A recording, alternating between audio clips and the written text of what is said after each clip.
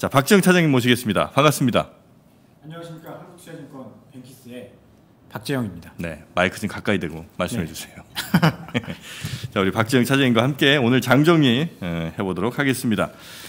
아, 오늘 주식시장은 그냥 제자리였네요, 그렇죠? 네, 아, 네. 일단 오늘은 조금 변동성이 있었습니다. 네. 오전에 좋았다가 오후에 안 좋았습니다. 아, 저 그거 알았잖아요.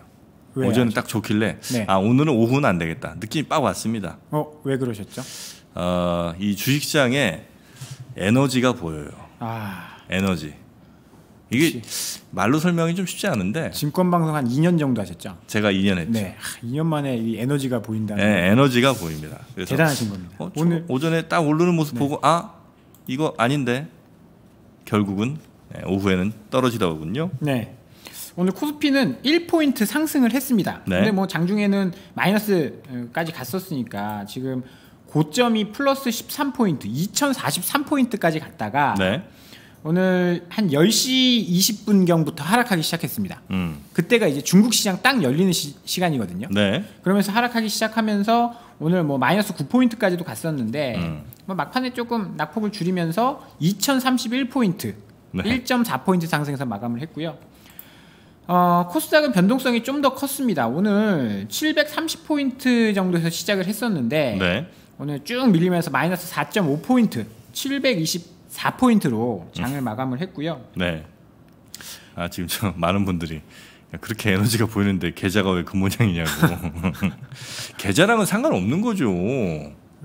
왜 상관없죠? 보이면 아니 아니 아니 이거 이거는 지금 여러분이 크게 착각하시는 부분이 좀 있는데 어, 제가 이제 매매를 하는 것 그 행위 액션 그건 말이죠.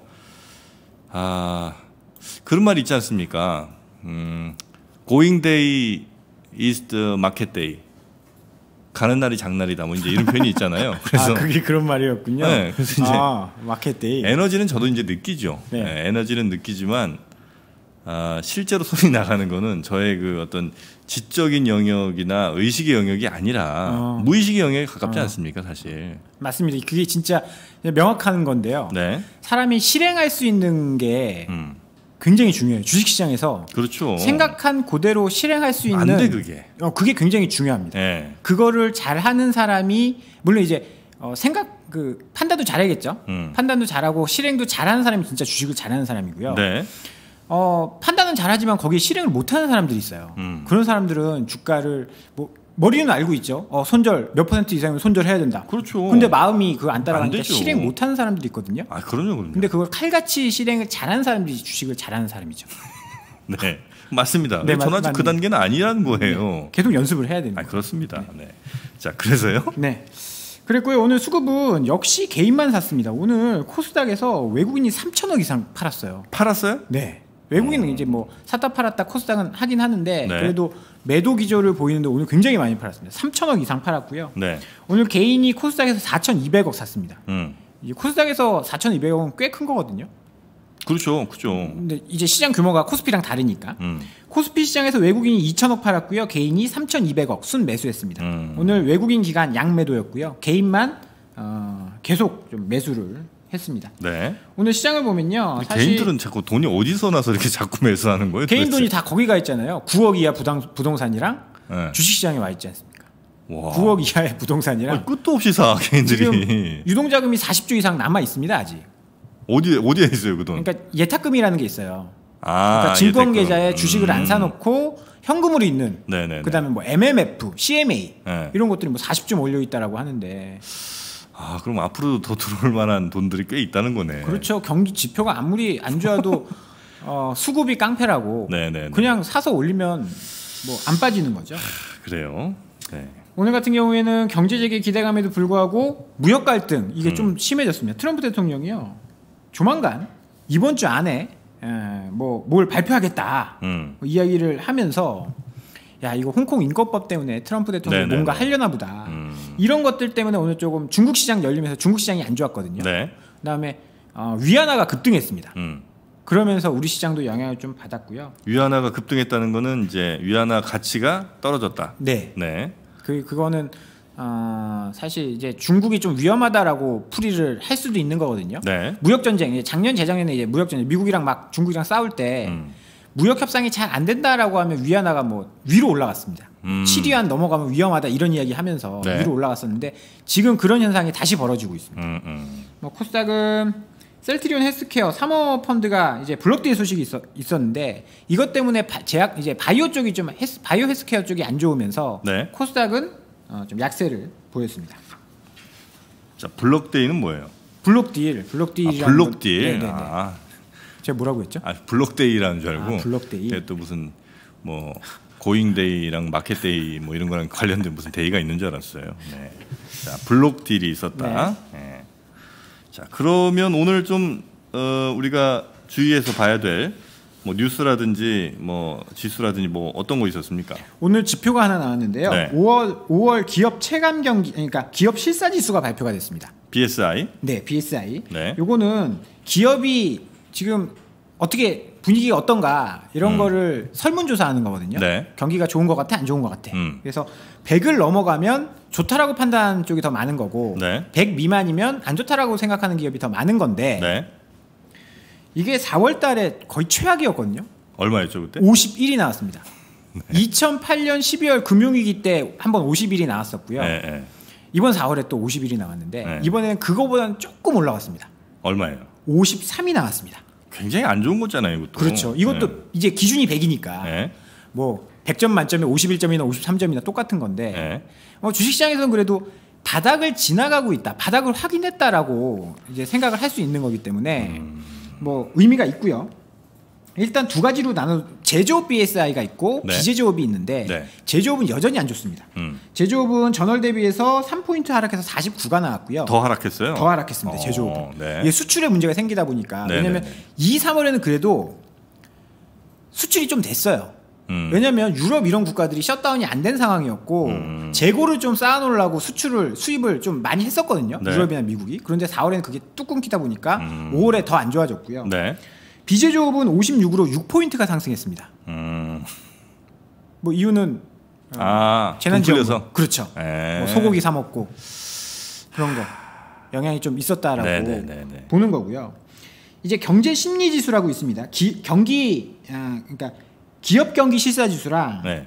어, 소비자 동향 지수 이거 두 개를 합쳐서 평균 낸 건데 음. 요거에 요게 57.8이 나오면서 전월 대비해서 2.1 포인트가 상승했습니다. 그래서 어, 시장을 보는 음, 이제 시각은 조금 아주 조금 미미하나마 개선이 좀 되고 있다. 이유는 이제 재난지원금 같은 음. 네. 서비스업이 개선되면서. 4월보다는 조금 좋아졌다. 네. 또 4월보다는 뭐 좋아진 것 같긴 하지만 아 실질적인 그 경제 상황은 그렇게 썩 좋지는 않은 것 같기는 그렇죠. 한데 여튼 뭐 어, 주식시장은 그래도 대체로 좀 플러스 요인들을 더 많이 받아들이고 있는 것 같기는 하고요. 어 그리고 그린 뉴딜 얘기가 좀 나오고 있습니까? 뭐 저번 주 이번 주부터 이번 주부터 이제 뭐 태양광, 풍력, 2차 전지 뭐 지금 엄청 올라갔는데 음. 네. 오늘도 오늘도 뭐 태양광, 음. 풍력 관련된 중소형주들이 급등했어요. 태양광하고 풍력, 네. 윈드 어쩌고 하는 그런 그렇죠. 음, 네. 그래서 이유는 네. 뭐 얼마 전에 이제 문재인 대통령이 한국형 뉴딜에 그린 뉴딜 정책을 포함시켜라. 네. 그리고 구체적인 정책은 6월 초에 발표하겠다. 6월 초. 그렇죠. 그럼 다음 주거든요. 그럼 이제 음. 구체적인 정책이 나오면 사실 뭐 풍력이나 태양광 이런 쪽이 수혜를 받을 수도 있다라고 네. 보고 있는 것 같고 이게 전 세계적인 트렌드입니다. 음, 유럽이 작년 11월에 그린딜 프로젝트 통과시키면서 올해 구체적인 안이 나올 계획이고요. 네. 물론 지금 코로나 때문에 거의 다 죽어가고 있어서 음, 뭐 얼마나 실행을 할 수 있을지 모르겠지만 음. 예, 뭐 준비를 하고 있습니다. 네. 미국도 트럼프에 가려져 있어서 이제 잘 안 나타나고 있지만 음. 민주당이 온실가스 제로 정책 음. 10년 안에 온실가스를 제로로 만들겠다라는 네네네. 그 뉴딜 정책, 그린 정책, 그 그린 뉴딜을 네. 이제 당 핵심 전략으로 삼고 있어요. 그래서 네. 뭐 지금 트럼프 대통령 점유율도 막 떠, 그 지지율도 떨어지고 있지 않습니까? 네. 만약에 미국의 민주당이 어, 대선 승리하면? 대선에 된다라고 한다면 이 친환경 테마가 굉장히 큰 수혜를 받을 겁니다. 음, 아, 여기 뭐 어, 지금 코로나 때문에 네. 지금 뭐, 뭐 뉴스에 검색해 보면 위성 사진 이런 거 많이 나오잖아요. 음. 1월, 2월까지만 하더라도 지금 뭐 황사 때문에 앞이 잘 안 보이고 막 막 그런 날이 많은데 요새 완전 깨끗해졌지 않습니까? 요즘 공기가 우리나라 진짜 좋더라고요. 그러, 그러니까 이렇게 예쁜 하늘을 본 게 정말 몇 년 만인가. 꽤 오래 보고 있어 지금. 그렇죠. 이게 만족도가 굉장히 높아지는데 그럼 네. 정부도 이런 거 계속 유지할 가능성이 많다라는 거죠. 네네네. 언제까지 이제 막 그 도로 깔고 댐 만들고 이렇게 해서 이, 뭐 이걸 만드느냐 이게 아니라 이제 뭐 친환경 그다음에 그다음에 뭐 5G 같은 이제 디지털 기술 이런 네. 쪽에 정부가 지원을 할 가능성이 높다라는 점에서 최근에 뭐 움직임이 굉장히 좋은 모습입니다. 아 그렇습니까? 요거는 그러면 그린뉴딜이 실제로 막 되는 이 시점까지는 꽤 괜찮게 갈 가능성이 좀 있겠네요. 이쪽 테마 어, 형, 형아들은 나쁘지 않을 것 같아요. 아 그래요? 네. 지금 뭐 굴뚝주나 이런 게 좋을 제조업이나 수출주 이런 게 네. 어, 좋을 수 없는 환경이기 때문에 음. 그 외의 것들을 많이 찾으려고 노력을 하고 있거든요. 네네. 그러면 결국은 나아갈 방향이니까 음. 주식은 실적이나 이런 거보다 지금 좀 먼저 선반영해서 움직이는 경우가 요새 좀 많더라고요. 네네. 그래서 아, 오늘 제가 점심에 그 후배 한 명이랑 이제 여의도에서 점심을 먹었습니다. 네, 어, 노천이라고 할 만한 하여튼 게 무슨 저 햄버거 가게인데 네, 네. 어, 길에 이렇게 테이블 있는 음. 아 뭐, 하늘 보면서 마시 아, 먹으니까 음. 너무 좋더라고요. 그렇죠. 저, 저 네. 요새 저는 캠핑을 자주 요새 자주 가는데 아, 캠핑 관련주 뭐 이런 거 좀 캠핑 파세코, 아, 그 뭐예요? 어, 캠핑 난로 난로 같은 거 만드는 회사예요. 아, 이름이 파세코예요? 파세코. 그래서 어. 예전에 꽤 뭐 이렇게 걔들이 뭐 선풍기도 만들고요, 난로도 네. 만들고 뭐 여러 가지 많이 만들어서 음, 그렇습니다. 선풍기 난로. 네네. 어, 하여튼 캠핑 용품 만드는 회사군요. 네. 코베아 어떻습니까? 코베아. 코베아는 상장이 안 되어 있는 걸로 아, 그래요? 네. 코베아. 코베아요. 너무 비싸요. 제가 아 비싸요? 코베아 가격이 아니 뭐 좋다 나쁘다가 아니라 아 그 캠핑 네. 용품 가격이. 네, 용, 용품 가격이 좀 비쌉니다. 아, 그저 같은 캠핑 초보들은 가면 다 코베아 가는군요. 미안합니다. 네. 네. 아, 아, 재밌었어요. 저, 아, 재밌습니다. 자 오늘 우리 박정희 차장님과 이 정도로 어, 오늘 이거 주식. 하나만 더 아, 하나. 예, 예. 예, 내일 금통인데 내일 금통이. 변수가 하나 생겼습니다. 네. 오늘 제가 이제 오늘 환율이 네. 이제 거의 안 올랐거든요. 오늘 위안화가 급등했는데 네. 위안화가 급등했으면 원화도 같이 보통 올라가야 따라가죠. 그렇죠. 예. 그리고 어제 환율이 10원이나 9원 90전이나 빠졌어요. 예. 강세를 보였다라는 이야기거든요. 음. 그 이유는 뭔가 일단 오늘 뉴스 제가 이거 막 찾다 보니까 이런 뉴스가 있어서 네. 이제 금통위원이 이제 두 명 바뀌었거든요. 음. 그 중에 한 분 이제 조윤재 위원이라고 계십니다. 조윤재. 예. 어. 내일 금통인데 이분이 금통위에 못 나갈 가능성이 생겼어요. 왜요? 주식을 갖고 계시, 주식을 갖고 있는데 이게 3천만 원 이상이면 뭐 신고를 해야 되고 금통위원이 주식 갖고 있으면 안 되거든요. 근데 코스닥 주식을 3천만 원 이상 갖고 있어서 아. 이해 충돌로 내일 금통위에 못 나오실 가능성이 있다. 근데 그게 왜 문제냐? 네. 이분이 약간 성향이 비둘기파적일 거라고 생각을 하고 있어요. 네. 왜냐면 이분이 문재인 캠프의 싱크탱크 역할을 운영을 했었던 정도로 친 정부 성향의 음. 위원인데 지금 정부가 금리 올리는 거나 동결하는 거 그렇게 반가워하지 않을 거예요. 네. 왜냐면 부채가 많고 그러면 금리가 올라가 버리면 문제가 생기거든요. 그래서 음. 금리 낮추는 거를 바라고 있을 텐데 이분이 안 가면 금리 인하표가 하나 줄어드는 거거든요. 아. 그래서 아. 아, 물론 이제 좀 어, 너무 과하다고 생각할 수도 있겠지만 네.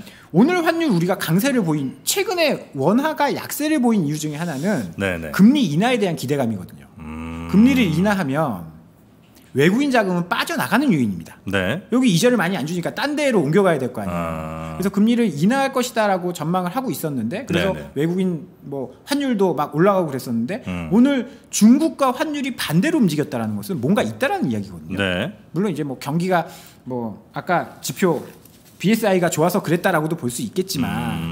그럴 이유가 전혀 없는데 환율이 올라갔다. 네. 아, 그러니까 원화가 강세를 보였다. 음. 이거는 뭔가 좀 이유가 있을 것 같고요. 음. 지금 검, 이 경찰이 금융위원회 압수수색하고 있거든요. 왜요? 어, 주가 조작과 관련된 뭐 혐의가 있어서 어 그래요? 네, 아니, 금융위원회가 했다라는 게 아니, 아니고요. 아. 뭐 주가 조작 관련돼서 이제 조사를 하고 있는데 네네. 이렇게 어수선한데 뭐 금리 인하 결정을 할까요? 그리고 아. 어수선하면 가만히 있지 않을까? 뭐 이런 이런 생각도 좀 들고요. 아 그렇습니까? 내일이에요. 내일입니다. 아. 재밌을 것 같아요. 일단 우리 박정희 차장님은 어, 금리는 동결될 것이다. 어제 제가 인하한다라고 이야기했거든요. 어, 어제? 김프로님이 물어보셔서 아 이거는 어제는 이제 그거 이- 나오기 전에 예. 이 이슈 나오기 전에 저는 인하라고 생각을 하고 있었는데 하지만 조윤재 사건, 조윤재 불참 및 그다음에 검찰의 압수수색으로 동결할 동결 것 쪽에. 좀 네. 무게를 네. 그래요. 우리 저 박정희 사장님 또 끝나기 전에 할 얘기가 좀 있죠? 네, 저희 아침마다 우리 정프로님이 많이 홍보를 해주시고 소개를 해주시는데요. 저희 네. 뱅키스 오셔서 음. 구독이랑 구독 한 번만 눌러주십시오. 지금 제가 요거 기획해서 뭐 하고 있는데 실적이 안 좋아서 목이 달아나게 생겼어요. 한 번만 도와주십시오. 네. 구독 한번 눌러주시고요. 예.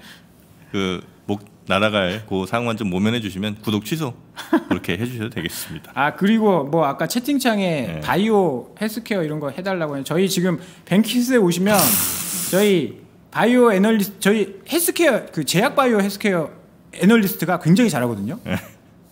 메인에 올려져 있습니다. 오늘 녹화한 따뜻 따끈따끈한 내용. 예. 많은 그냥 여기서 하시는 게 나을 것 같아요. 그러니까요. 여기서 하시고 그분이 저 뱅키스에 계시다 이러는 게 나을 것 같지. 아, 과연 효과가 있을지 모르겠습니다. 여튼 아, 도- 지금 도와주십시오. 네, 목이 간당간당하신 우리 뱅키스 이영우 뿌죠? 네. 예, 박재영 차장님 대단히 고맙습니다. 감사합니다. 네.